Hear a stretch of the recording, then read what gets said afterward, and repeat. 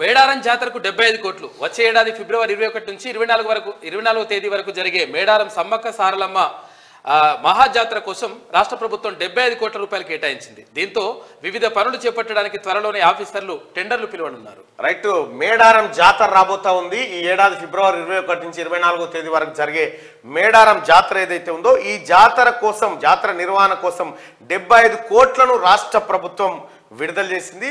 అక్కడ అభివృద్ధి పనులు చేపట్టి భక్తులకు సౌకర్యాలు అత ఇతరత్ర అవస్థాపన సౌకర్యాల కోసం డెబ్బై ఐదు కోట్లను కేటాయించబోతా ఉన్నారు. అయితే విషయం ఏంటంటే ఈసారి ఆ, మరి రేవంత్ రెడ్డి గారు ఏమైనా ఊహించిండో ఏమో కథనో కానీ ఉమ్మడి వరంగల్ జిల్లాకు సమ్మక్క సారక్క వంటి మంత్రులను పెట్టిండు. ఓకే అవును. అటు కొండా సురేఖ. ఇటు సీతక్క. సమ్మక్క సారలక్క లెక్కున్నారు వాళ్ళిద్దరు కలిసి.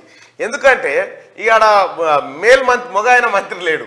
మంచి పరిణామం. మంచి పరిణామము శుభ పరిణామము ఇటు సీతక్క కానీ అటు ఆ కొండా సురేఖ అక్క కానీ ఇద్దరు కలిసి సమ్మక్క సారలక్క లెక్కున్నారు ఇప్పుడు ఆ జిల్లాకు. వాళ్ళిద్దరు కూడా పోరాట యోధులే నిజంగా కూడా గతంలో.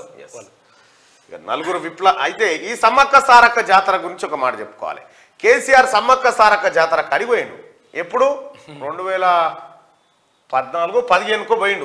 డగ డగ డగ డగ అది వేసుకొని హెలికాప్టర్ వేసి దిగిండు సమ్మక్క సార్లక్కల కోసం వంద కోట్లు కేటాయిస్తున్నామని చెప్పిండు.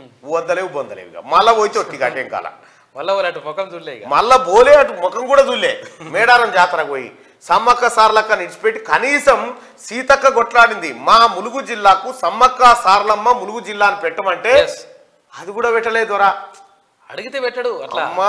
గిరిజనులే పెడతారా? అన్న పరిస్థితి తీసుకొచ్చిండు.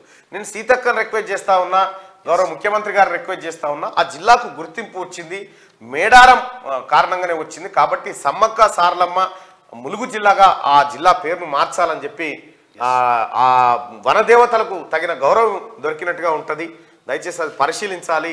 మేడారం లోపే జాతర లోపే అది మార్చుకుంటే కూడా బాగుంటుంది.